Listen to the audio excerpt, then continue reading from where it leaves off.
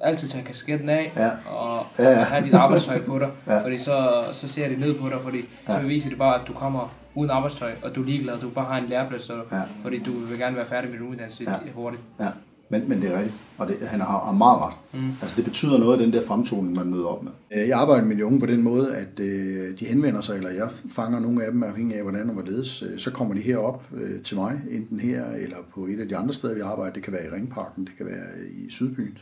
Øh, Og der indleder vi sådan en serie samtaler.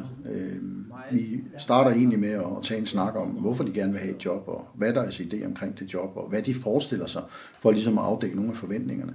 Øh, Og så begynder vi at lave en ansøgning. Og mens vi laver den her ansøgning, så lærer jeg jo de unge at kende. Øh, jeg arbejder typisk med dem en halv time ad gangen.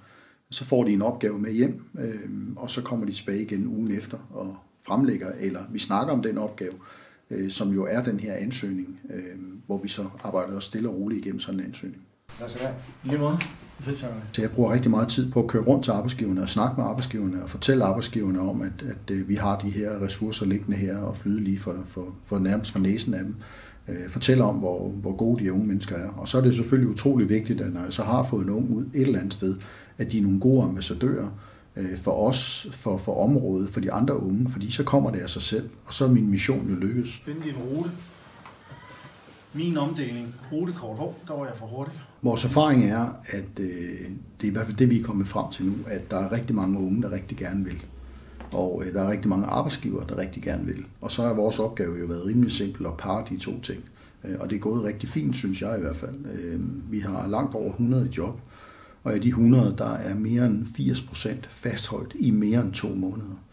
Udover det, så viser mine egne små undersøgelser, at dem, som er kommet i job, der er det ganske, ganske få, som er helt ude af arbejdsmarkedet. Det kan godt være, at der er nogen, der er skiftet fra et job til et andet job, men det er meget få, som ikke er i- på arbejdsmarkedet. Vi snakker faktisk under en håndfuld. Mm.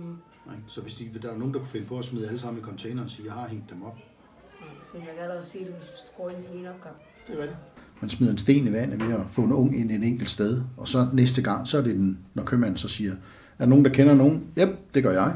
Godt. Jamen, så er den næste unge i gang, næsten uden hjælp. Og det er jo, det er jo egentlig ideen i det her, det er jo, at det skal være selvbærende. Fordi når du så piller ned, så vil du lige gøre sådan her. Nå, ja. Nej, så går det stærkt.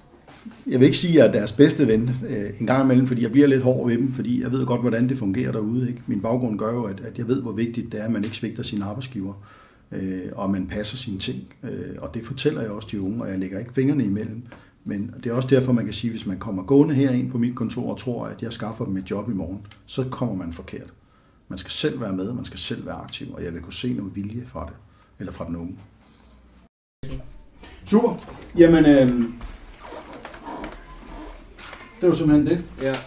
Så tager vi næste mand, men lad mig lige høre, hvad der sker.